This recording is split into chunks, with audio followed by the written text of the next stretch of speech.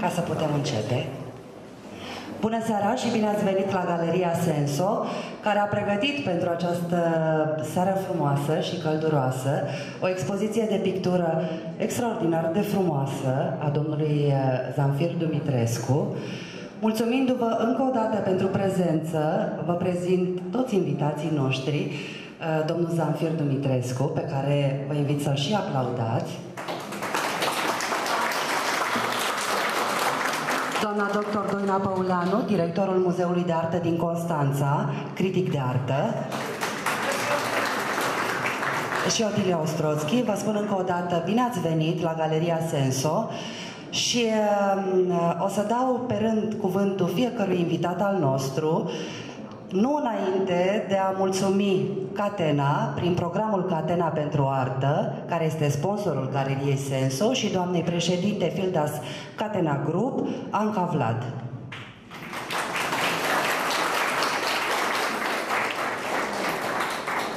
Doamna Doina Păuleanu ne va spune ca de fiecare dată cele mai frumoase cuvinte și cele mai bune gânduri pentru domnul Zanfir Dumitrescu și creația dumnealui. Mulțumesc, doamna director Otilia Ostroschi. Așa. Și vă reamintesc un lucru îndeopște cunoscut, și anume că în anul 400 înainte de Hristos, un pictor căruia numele, eh, al cărui nume s-a perpetuat peste veacuri, eh, se numea Zeuxis, a pictat atât de frumos niște boabe de struguri, încât păsărelele veneau să ciugulească din acest struguri și desigur că se logau pe peretele, de peretele pe care fusese reprezentate.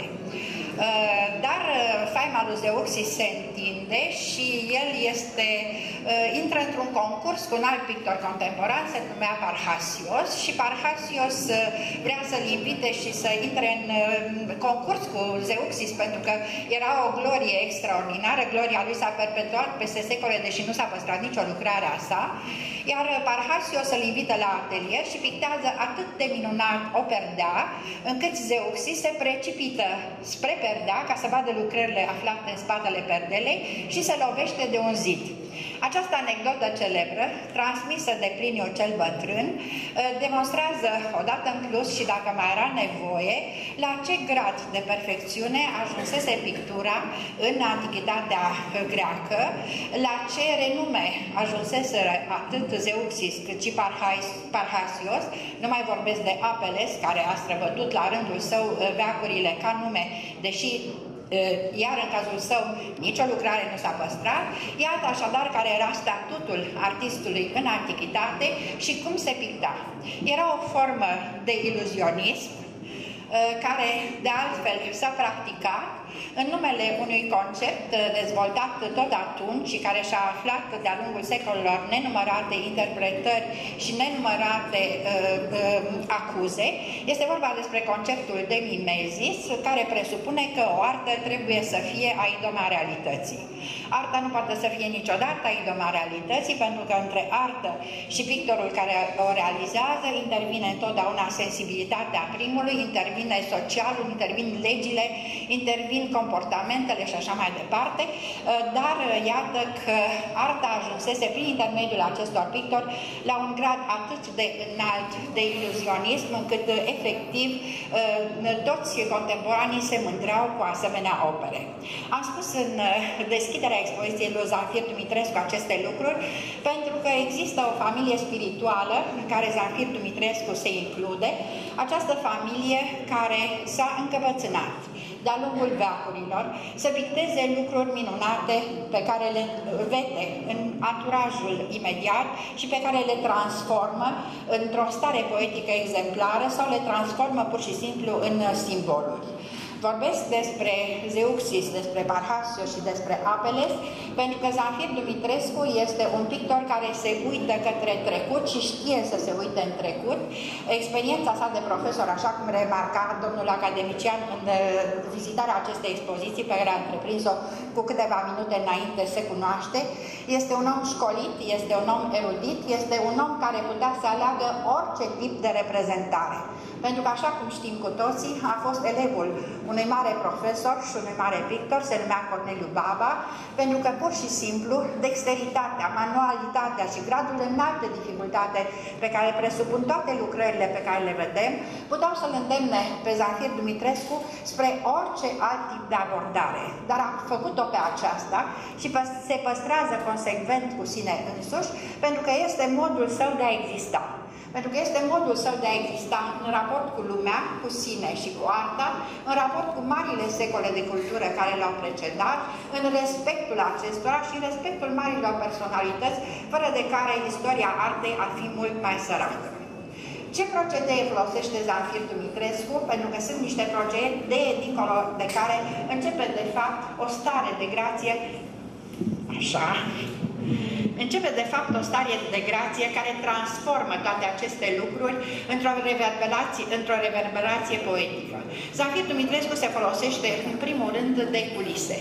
El știe să folosească aceste culise. Culisele de obicei la el sunt perdele și ce perdele minunate, ce frumos sunt străbătute de vânt, ce brocarturi extraordinare, ce revărsare de substanțe, ce revărsare de elemente decorative, ce revărsare de știință a compoziției prin intermediul cărora acestor culise vorbesc, privirea este îndemnată către depărtări. Dar și acolo, profesorul de perspectivă știe cum să compună aceste depărtări, pentru că, iată, el nu se oferă pur și simplu privitorului în modul cel mai simplu, ci prin asociații dintre cele mai alese, asociații simbolice, în primul rând, asociații sufletești, asociații care umplu toate aceste perspective extraordinare cu un ecou dintre cele mai elevate. Apoi Zanfir Dumitrescu își alege obiectele compunând la limita unor genuri sau la interferența lor, pentru că este vorba despre naturi moarte, cu deschidere către peisaj, este vorba despre peisaje care conțin elemente de naturi moarte, este vorba de interioare, de obicei cu personaje care se fac rezonanța stărilor pe care aceste interioare le duc cu sine, este vorba așadar despre obiecte care au o valoare simbolică și dacă urmărim simbolica lui Zafir Dumitrescu, știm să o și descifrăm și să ne bucurăm de ea pentru că înainte de a deveni simbolica lui Zanfir Dumitrescu, toată această simbolică a avut de-a lungul secolelor modul ei de acoperire și dacă secolul al XVII olandez care a dus la strălucire genul peisajului și al naturii moarte autonome, acolo de fapt aceste genuri ale artei au și devenit autonome în modernitate, deci în uh, arta secolului al XVII-lea vorbesc, toate aceste elemente erau acoperite de o simbolică și de o morală care era aceea a societății secolului al XVII-lea. Acum aceste lucruri s-au pierdut și Zanfir Dumitrescu le pictează pur și simplu cu bucuria de a le vedea asociate într-un fel care ține de fapt de modul său de viață, de modul său de a concepe arta și mai ales de modul său de a comunica. Pentru că poți să comunici prin intermediul acestor obiecte, în fond umile, pe care Zanfir Dumitrescu le aduce la rangul de mari protagoniști ai tabloului, de lucruri care își depășesc condiția fizică spre a atinge o înaltă condiție spirituală, în aceste montaje compoziționale absolut vertiginoase din punct de vedere tehnic, montaje compoziționale care presupun un grad de stăpânire al limbajului plastic dintre cele mai elevate și aș spune dintre cele mai rare. Pentru că în zadar aproape am mai căuta în arta contemporană oameni care să știe să facă atât de bine un obiect în toate detaliile, dar și în toate reverberațiile lor. În zadar am încercat să căutăm în arta contemporană un împătimit de perspectivă, așa cum este Zanfir Dumitrescu, și să ne amintim că exact cu multe secole înainte, în Renaștere, un alt pictor efectiv, Ucelo se cheamă acela, era bântuit în visele sale de probleme de perspectivă. Să ne gândim că toate aceste lucruri, de fapt, au fost marile probleme ale istoriei artei și artiști care și-au lăsat numele în decursul acestor veacuri au știut să le aducă la o amplă strălucire. Spuneam că naturile moarte, peisajele, interioarele lui, lui Zanfir Dumitrescu se compun aproape vertiginos pe aceste culise și spre o adâncime spațială către care ochiul te îndrumă, dar care la rândul ei este înșelătoare, pentru că acolo apar alte elemente care vin în rezonanță cu elementele primare și în fond nu mai știi, ești în exterior și comunici cu interiorul, ești într-o exterioritate și ai de-a face cu interioritatea pictorului, poți să te angajezi în acest dialog spectacular, spectacular pe care Zanfir Dumitrescu știe să-l urmărească cu o maestrie exemplară.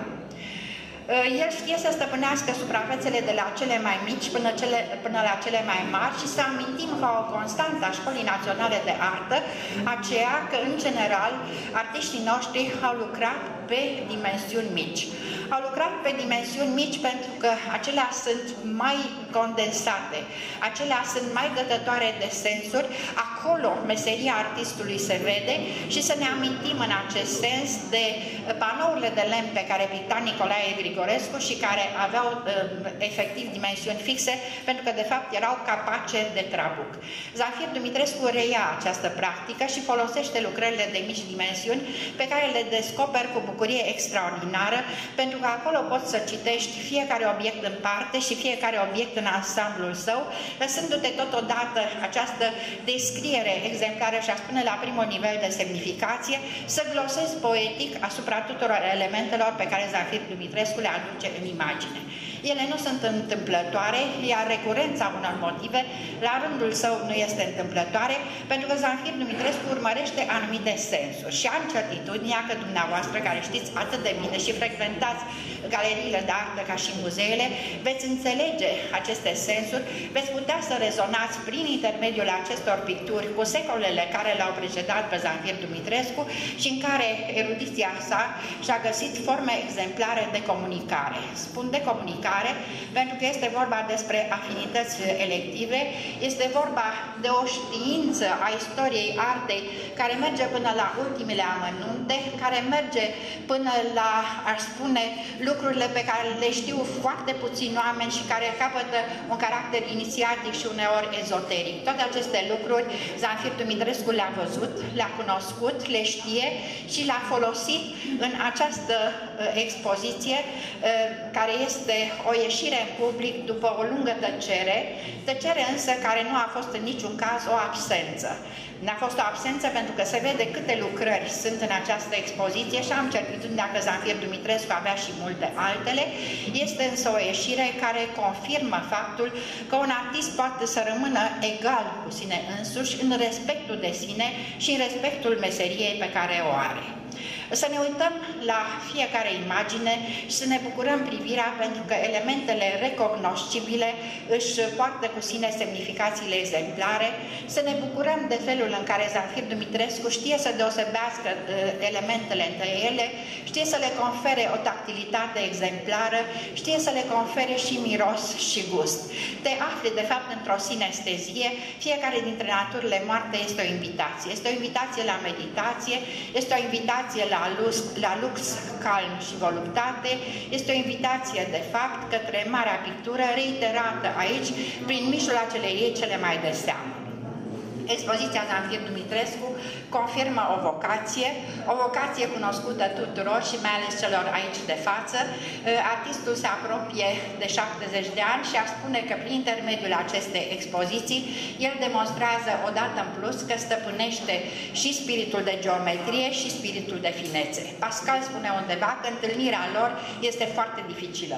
Zanfir Dumitrescu a reușit acest lucru. Felicitări!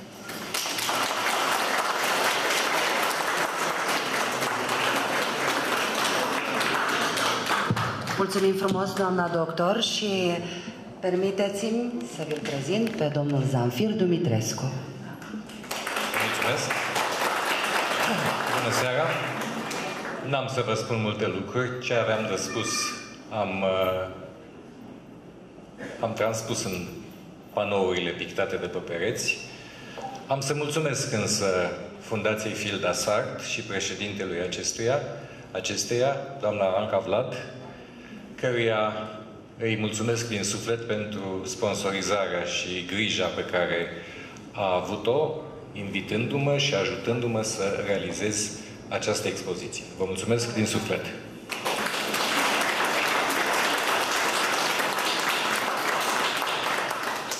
Mulțumesc de asemenea Doinei Băuleanu, un vechi prieten și o veche colegă de facultate, Uh, mulțumesc de asemenea colectivului Galeriei Senso, fraților Bâlie, cu care am avut o veche și fructoasă colaborare de ani de zile.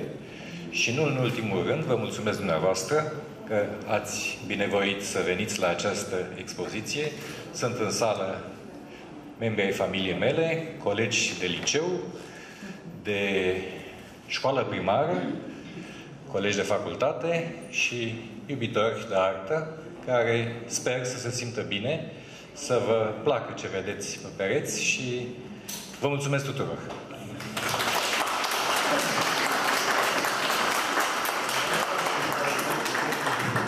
Mulțumindu-vă încă o dată pentru prezență, Galeria Senso vă invită până la sfârșitul lunii mai să vizitați expoziția de pictură Zamfir Dumitrescu. Expoziția este deschisă până la data de 30 mai, inclusiv sâmbătă și duminică. Vă invităm de asemenea uh, să nu uitați că avem pregătite pentru dumneavoastră și delicii dulci de la Candy Cat, pe care vă invităm să le savurați uh, la etaj.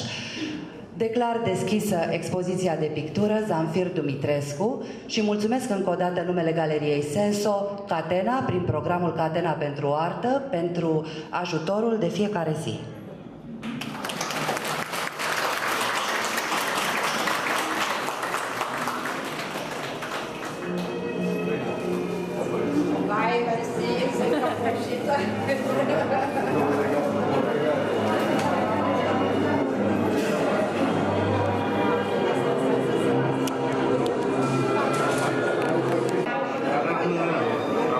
aqui.